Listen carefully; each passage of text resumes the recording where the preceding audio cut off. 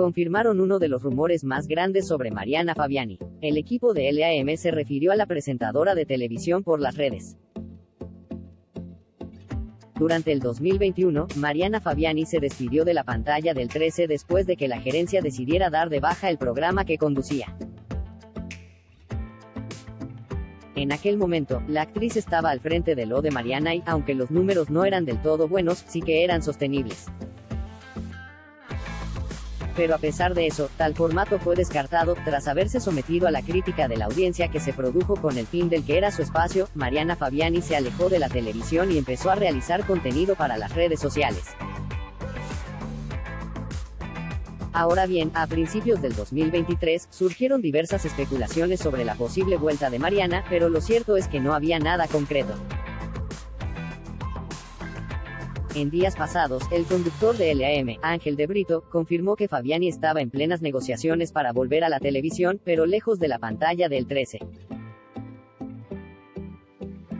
Luego de tanto, el equipo del ya mencionado programa informó que Mariana regresará este año a la televisión con DDM en América TV. Cabe mencionar que el diario de Mariana ya se había transmitido desde el 2013 hasta el 2019 en América TV y, ahora que la figura regresa al canal que en su momento la vio brillar, lanzarán una nueva edición.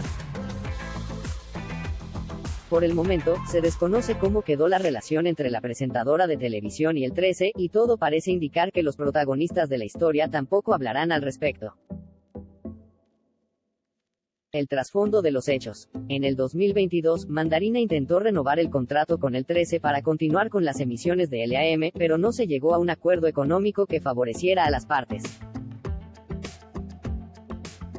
A raíz de lo sucedido, Mariano Chijade, fundador de Mandarina, decidió desvincularse del 13 y abordar, junto con su productora, en América TV. En ese sentido, también se supo que Ángel de Brito tuvo la oportunidad de quedarse en el 13, pero prefirió irse con su productora y hacer el AM en el canal del Cubo. Desde entonces, especularon con la posibilidad de que Mariana Fabiani se desvincularía del 13 y volvería a la televisión, pero en América TV. Esto, debido a que la actual pareja de la empresaria es Mariano Chijade.